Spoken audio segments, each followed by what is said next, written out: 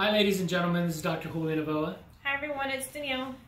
So we got a question and we wanted to answer it. There has been a misconception as to what happens if you damage a traditional silicone implant as compared to a gummy bear implant.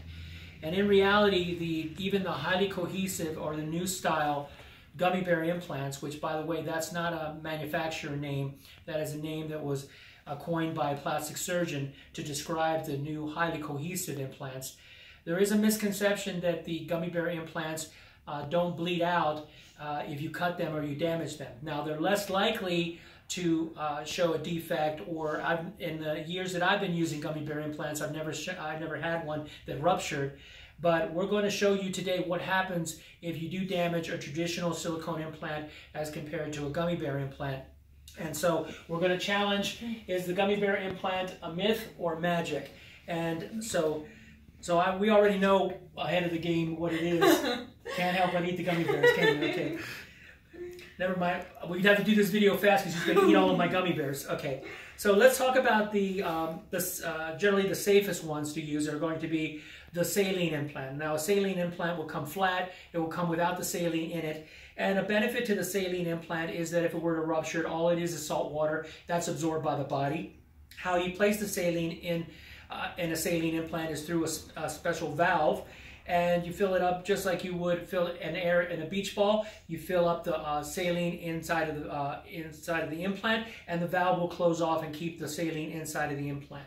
The great thing about uh, saline implants is that because they come flat and uh, you can um, roll them up just like a flauta, very small, even very large implants. You roll them up and you place them through a small incision and then they open up on the other side underneath the skin or underneath the muscle. And therefore, the incisions are very small as compared to silicone implants because the implants can be rolled and placed underneath uh, the skin or the muscle.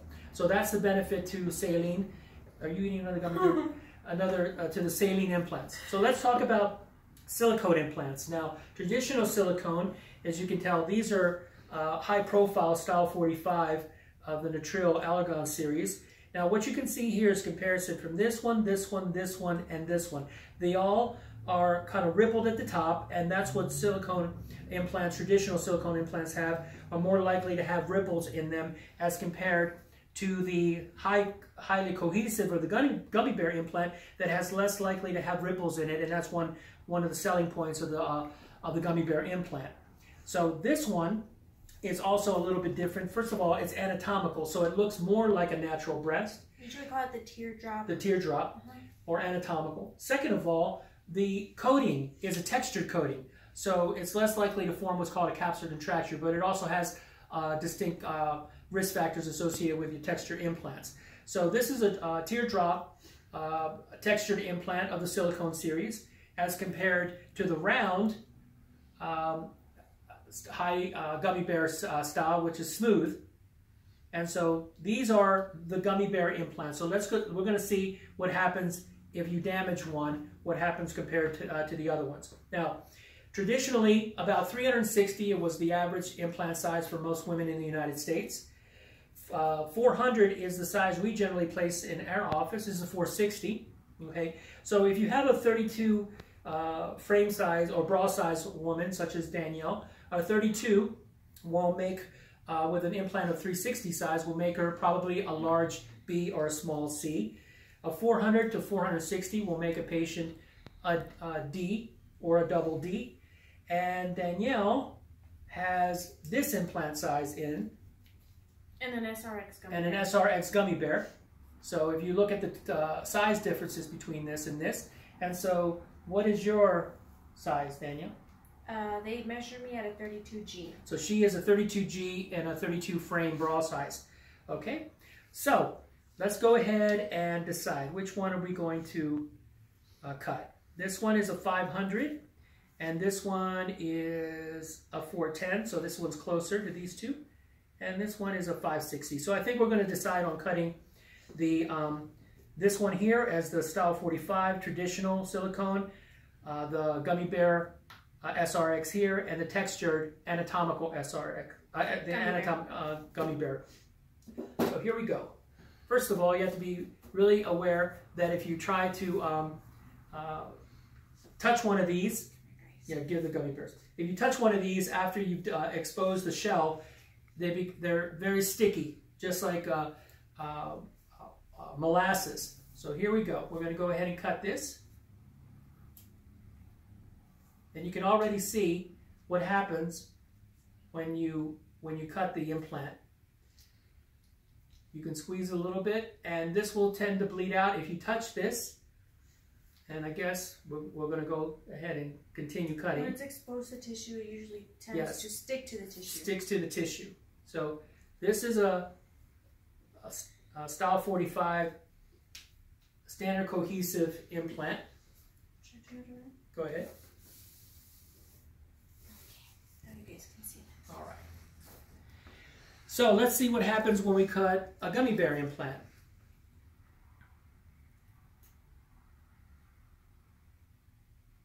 To me, that looks to be about the same as with a traditional low cohesive implant. And if you squeeze this out, very, very similar to the low cohesive or lower cohesive. So again, look at this. The silicone sticks to the instrument. This one actually went back inside. This one, yes. This one draw was drawn back into the implant shell. Well, this one's kind of, and it keeps more of its form as compared to this yeah, one. that one's nice and it's all. So let's see what happens to a to a textured implant. I'm going to try from this end. Now this is much tougher. The shell is much harder. This is what we're looking at more in the style of the gummy bear. When you cut a gummy bear implant, look at that. Less likely to bleed and it retracts right back. You see? That's what you're looking for. And nevertheless, you got some some anger management issues. I'm just showing you? is the same thing almost. So, so a Okay. textured implant in this style tends to retract back really nicely. However, if I touch it, you're going to still see that the silicone sticks to whatever I touch. This But one, it still stays within. yeah, look at that. It stays in the shell It still form. stays within the implant. That's This the difference. Because that one, if it were to rupture, it just begins to start. And this one, This one stays within its shell, and so does this one. all right, so some take-home messages. Number one, the And damage, they all feel natural. uh, this one feels a little tougher. A little tougher, but they still feel. This one, they all feel natural. Yes. Okay. Because that's what the silicone's meant to be more of a natural feeling. So, take home messages. If you were to damage a gummy bear implant, except for in the textured style, they're going to retract back and keep their shell the best. However, all of them, if the silicone is exposed and touches tissue, all of them are sticky. All of them will lose some of the silicone, and this one more likely is the most that will lose. more gooey. That one will lose the most.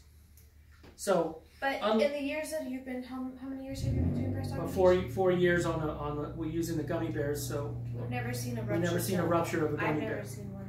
No one's ever But- complained. That is a safety uh, point, and we wanted to make sure to clarify that to everyone, especially if you're reading online that gummy bear implants, when cut, do not leak. They do leak, but they're less likely to leak and less likely to spread the uh, the silicone. But it still is a safety factor. That's why we generally recommend the use of the salines if you're looking at that as a concern. So I hope we've answered the question. Is the gummy bear implant a myth or magic? It actually is a myth. It is just very or very similar to the traditional silicone. Any comments? No. Thank you for watching. Hope we answered your question. Take care.